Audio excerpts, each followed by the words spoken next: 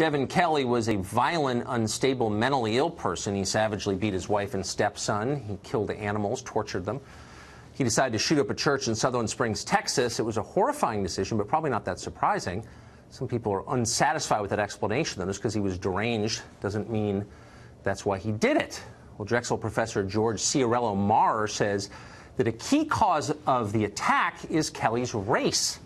In a radio interview, the professor said that, quote, whiteness has a, quote, institutional apparatus that encourages white men to feel as though they're on the losing side of history.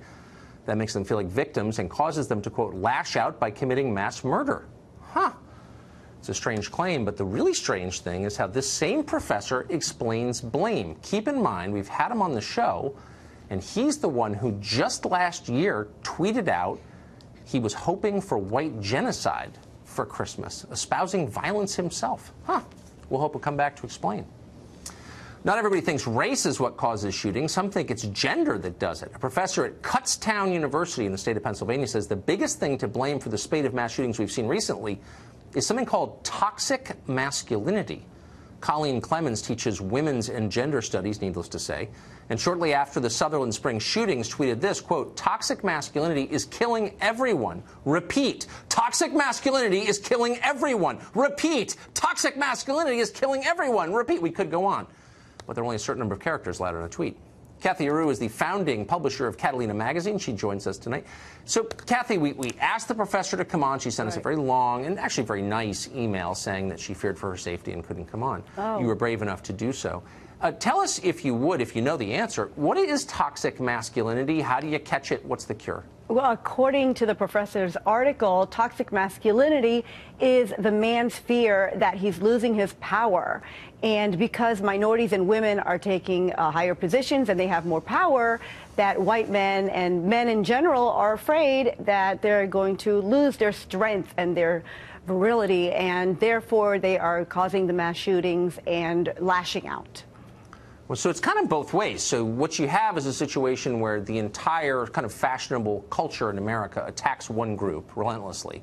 And then if they don't like it, that's a problem too. And then if there's a shooting committed by someone who looks that way, that's the result of them. I mean, this is kind of a a nonsense theory, isn't it? Maybe the guy committed a mass shooting because he was crazy or he had some kind of other animus. Does it right. have to be because of his gender? Yes. I mean, if you look at it, yes, men are more violent than women. Of the mass shootings we've had in the last 25 years, 88 have been by men, two have been by women. So we definitely have a problem with men in this country. Men are committing the murders. Okay, well that's uh, that's that well that is true. Of course, men commit the overwhelming majority of violent crimes. but crimes. I thought men and women were exactly the same. I mean, I'm kind of losing track of my feminist orthodoxies here, and I think some of them may be on a collision course about to hit each other. So men and women are exactly the same. You can transition from one to the other by snapping your fingers, and everyone has to believe that that's real. But they're totally different, which is true. Women are better, unfortunately. We are oh. not the oh. murderers of our society. We are not committing the crimes. We commit less than 20% of the crimes. So That's actually, true. men are not as good as women. We are actually better. We're safer. But what about so what about all, men yeah. who transition to it? So if a man says, if he's got the terrible case of toxic masculinity, yes, he's on his deathbed dying from toxic masculinity, right? And he says, "Bam, I'm a woman now." Does it cure him? Well, I would hope so. He would be the better gender. So I would okay, hope but, so. Okay. Does any of this strike you as not or are you, are you actually kind of tracking with this and nodding in agreement? No, I completely agree. If you look at it, it doesn't matter what race they are, doesn't matter where they're from, doesn't matter what country. Men mm. are hmm. committing most of the crimes and most of the murders. There is a huh. problem with men. And, and, no one can quite figure it out. Is it the testosterone? Is it that they feel less empowered? Is are the minorities, are the women taking over too much, and they are afraid of this? Is, is there the is there an upside to masculine? Like, so let's say a, a, hostile power tries to invade the country and you know burn your house and kill the livestock and carry your women off over their shoulder or whatever. Is it is it at that's the point when you'd want to have some toxic masculinity around, right? Well, actually, funny. I actually have two cadets from West Point in my studio right now watching, and I asked them in the commercial break I hope you guys have a lot of toxic masculinity because the whole point is to go kill people to, in order to protect us. That's a good use of toxic masculinity. Well, right. Her article said that not all men suffer from this. So she did say that in her article, and um, Ms. Clemens, the professor, said in her article, but the men that do have it are dangerous, and these are the ones committing the crimes. So, yeah, it's huh. wonderful that we have these guys that are protecting our country, these wonderful men and women who are protecting our country.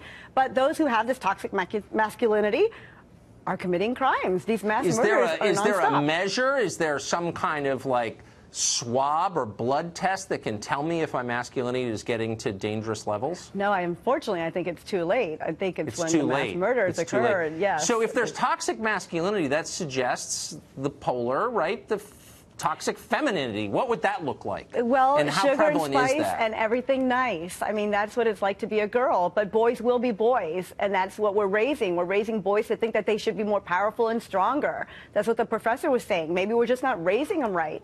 Why Right. are women no, but you're supposed not to be answering my nonviolent? question. Okay, but is there such a thing as toxic femininity? No. Can you be too? Fe- oh, you you, No. you you can be way too masculine. We do no wrong. but you can't Women be do too no feminine. wrong. The numbers Right. prove it. The statistics prove it. Women That do doesn't do sound wrong. like feminism to me exactly. What? That It's sounds like fact. kind of the 19th century understanding of of women. No, it's just the Again, fact. you're Women are confusing me responsible. here. Women are Okay. responsible. We're not killing. We're not committing crimes. We're just the smarter gender.